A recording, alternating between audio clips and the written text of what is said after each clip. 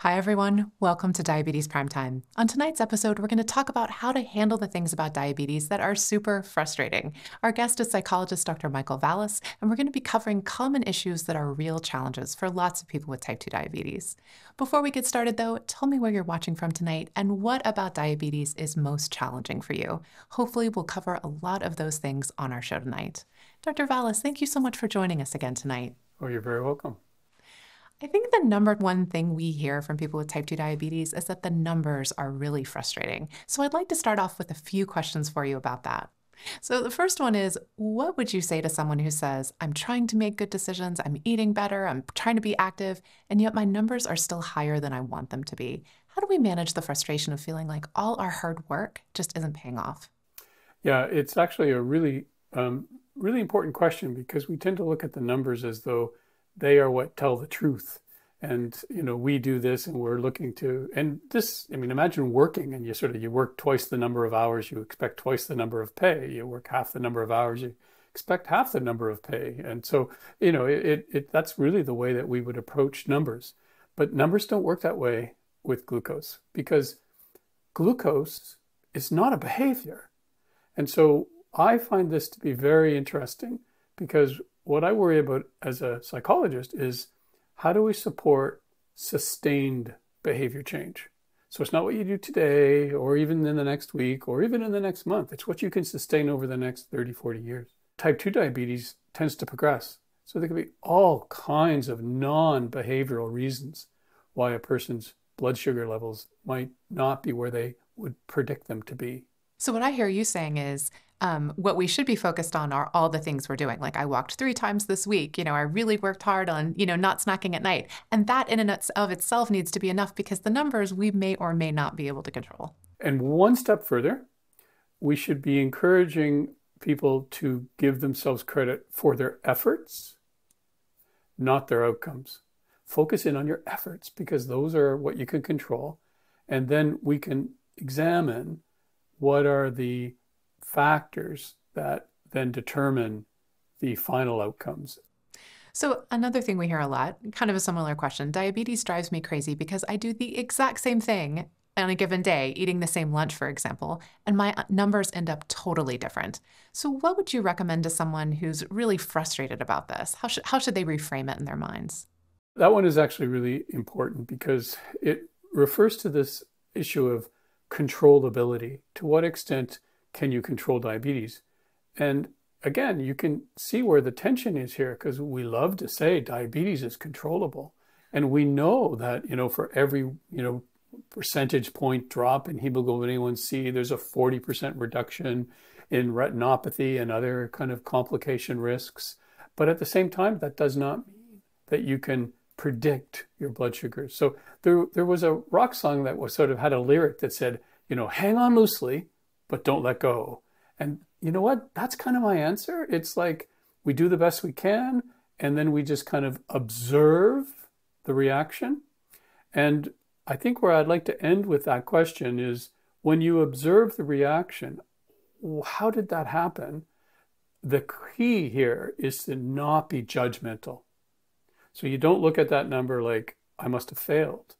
You look at that number like, can I explain it? And sometimes yes, and sometimes no. And this is just true. We, we know this, that, that you could do exactly the same thing every day of the week and test your blood sugars at exactly the same time. They wouldn't be the same. All right, before we get too far along, folks, I want to do tonight's trivia question. We are doing a super cool giveaway tonight. It is a meal planning guide for building a healthy dinner. Not only does our wonderful diabetes dietitian Melinda give you nine easy dinner ideas, she also helps you put together a meal with whatever you have on hand. And you will get that guide for free if you answer tonight's trivia question, which is True or false, metformin is a medication commonly prescribed to lower blood sugar levels. Is that true or false? Tell us your best guess in the comments, and regardless of whether you're right or not, you will get that awesome guide to building a healthy dinner. One thing we hear from a lot of people with diabetes is that they are tired of all the things they have to think about in order to be healthy. So, counting carbs, getting enough exercise, taking meds. How do we balance being healthy and doing the things we need to do with not letting diabetes kind of take over our lives? It's a really, really important question um, because the problem is, of course, diabetes doesn't go away. So you're sort of left to manage it on a on a continuous basis. So I'd like to talk about really um, what is the formula for success? And so there are three sort of hurdles to overcome. Diabetes is a burden. We know this. If you live with diabetes, you have imposed on your life more things to do and more risks than people who don't have diabetes or other chronic conditions. And so I see sort of a pathway to success that looks like um, first, what I call disease acceptance. How can you come to terms with your diabetes? Nobody wants to be sick. I've never heard anybody say, Oh, I'm so happy I've got diabetes. Um, and so somehow you got to say, look, you know what? I don't like this disease. I don't want this disease, but I have it. So I'm going to do something about it. So this is what we call disease acceptance. And that varies. So I strongly encourage people to think that they're, they're entitled to go through that as many times as they need to, because you may find that you go through episodes where this seems like it's actually not so bad, and then episodes when this seems like it's really difficult. Hurdle number two is what we call treatment acceptance. What's your attitude towards the treatment that's being recommended to you? Do you think you need it? And do you have concerns about it? This is critically important. And then the last hurdle is what I call readiness for self management. Diabetes is a disease that you manage in your home, in your life. Don't manage it through the clinic visits. There are only the occasional sort of touch points. And so, are you ready to manage the behaviors. And what I love about this concept of readiness is that it gives people permission to not be ready. Everybody thinks, oh, I got to be ready. I got to tell the doctor I'll do it. Yes, I, you know, the diabetes team, they're so nice. I, I totally, yes, I'll do it, I'll do it. No, it's not so easy. Change is really hard. So that's kind of the journey. But why would you do all that work? And I think this is the key.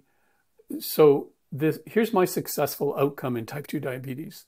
The person who says, I've never been healthier since I've been sick. See, this is the gold star of diabetes management, where the person has accepted their disease, accepted their treatment, they found a pathway that they're ready to engage in, and importantly, they become committed to those behaviors because it's consistent with their sense of who they are. We call these personal values or intrinsic motivation. And so, for instance, it, the, the question is, do you know, do you do you test your blood sugar now or or not? Do you do you have a healthy meal or not? That's a tough choice. What if the question was, what's important enough in your life to test your blood sugars for? what's important enough in your life to choose a healthier path? And of course, now all of a sudden we start to think about, well, diabetes has risks. And so if I were to reduce those risks, I could live a very full, long, healthy life. Hey, I might even be healthier with the diagnosis of diabetes than I was before I was diagnosed. So that's a long answer. And it's like, but I, I hope it sort of framed it up because it's super important for people to realize that they need support when the burden gets high. But as they navigate disease acceptance, treatment acceptance, readiness, and per- particularly find those personal values because then diabetes becomes like marriage, like child raising, and like your careers, which is they're super hard, but they are really what makes life meaningful. I love that. And I, I would also direct people to uh, visit the Facebook group Type 2 Diabetes Plate Method Support. There are lots of people in that group uh, who say, I am healthier now than I was before I was diagnosed with diabetes. So it is very possible. Dr. Vallis, next question is a tough one. We've heard from so many people with diabetes that deep down, they feel like diabetes is their fault, that this is something they brought on themselves. When someone says that to you, how do you encourage them to reframe it? It's an excellent question. And, and again, it, it's something that we find to be really important. We live in a society that overemphasizes personal control.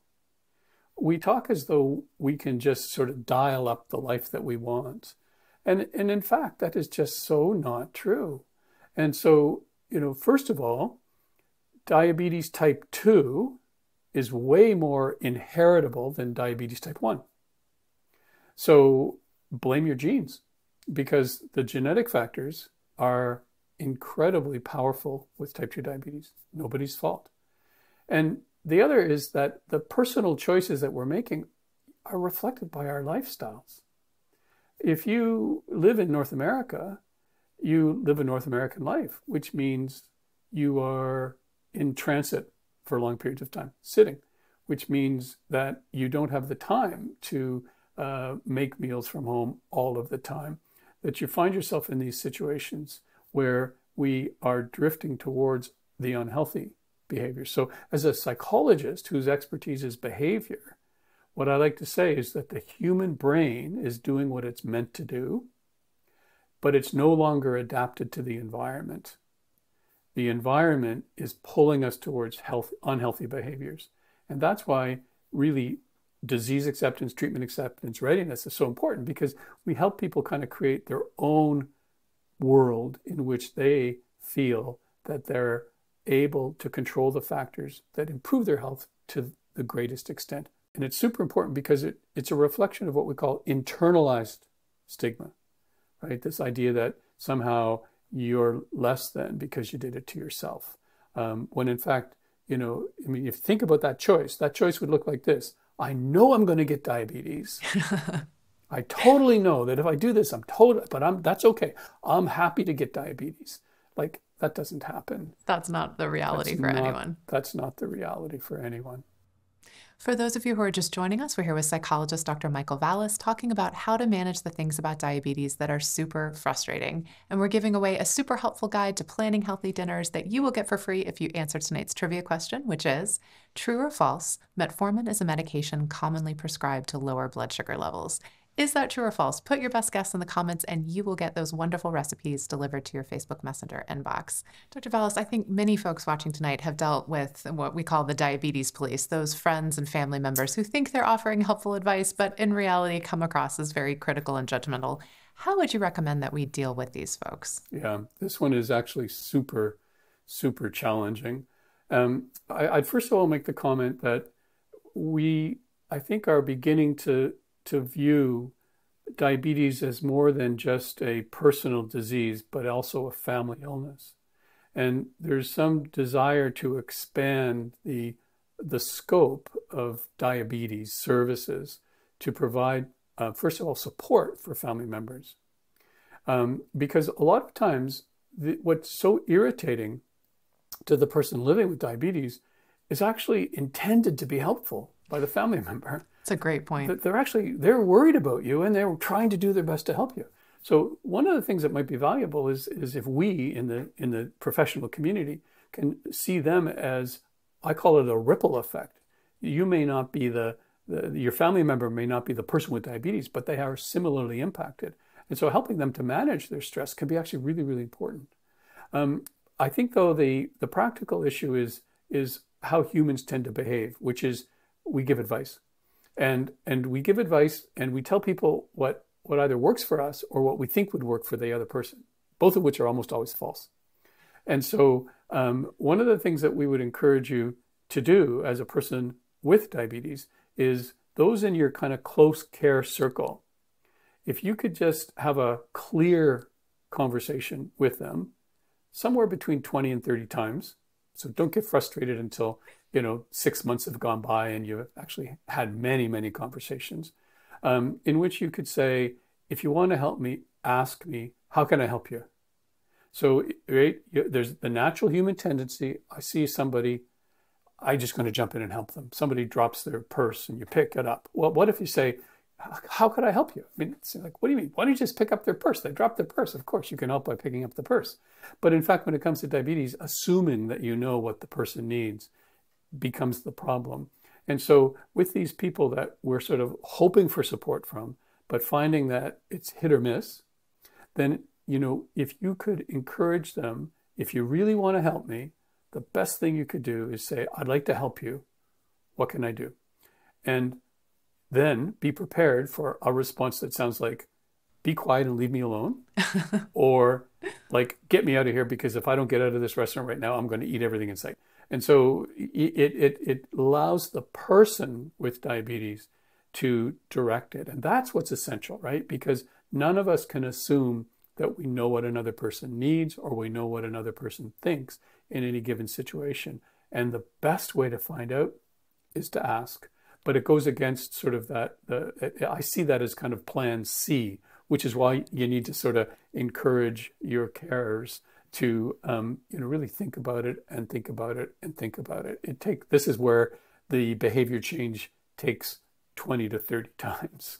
So communicate what we need to the people in our lives. Assume that their intentions are good, which most likely they are, and, and communicate, hey, this would actually be helpful for me.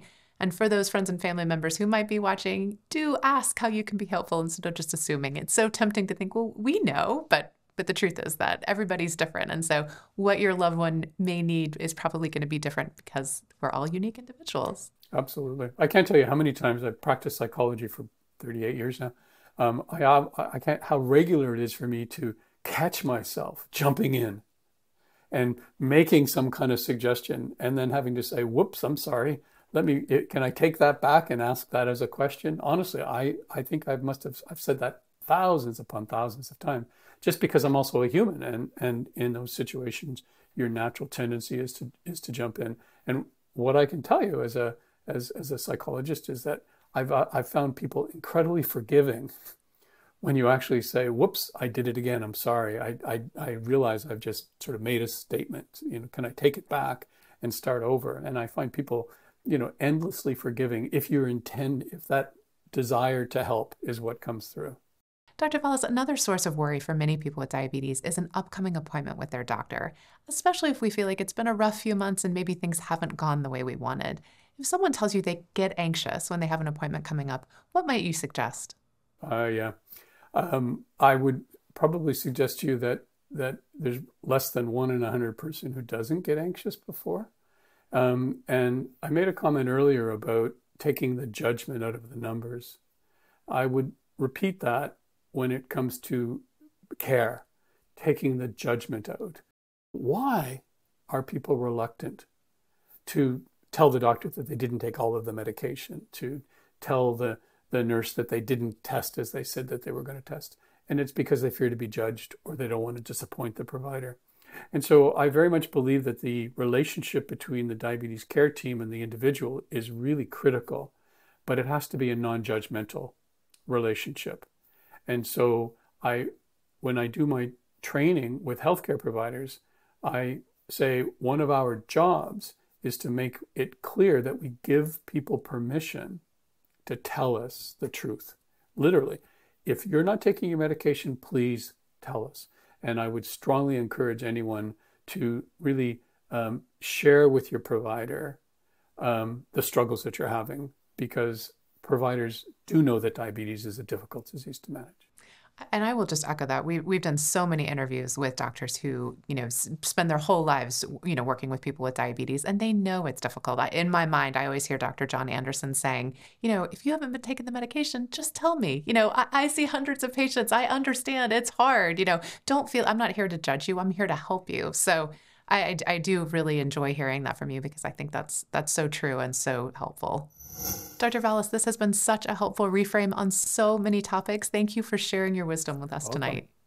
And a huge thank you to everyone watching at home. Thanks for being here with us. Before we go, here's the answer to tonight's trivia question True or false, metformin is a medication commonly prescribed to lower blood sugar levels? The answer is true. Metformin is probably the most prescribed medication for diabetes and for many people with prediabetes too.